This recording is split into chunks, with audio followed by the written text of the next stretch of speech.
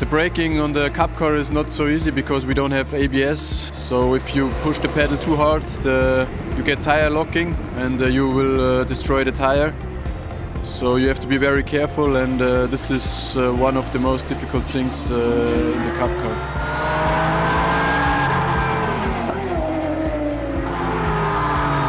The idea is to brake hard initially from the high speed when you have the most downforce and also the least likely uh, of the brake to lock. So you brake very hard in the beginning and then as, as the speed decelerates you start to bleed off the brake.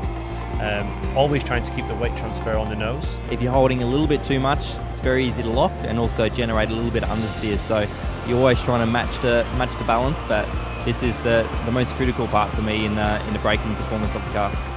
It tends to be the later the better, but there is a limit.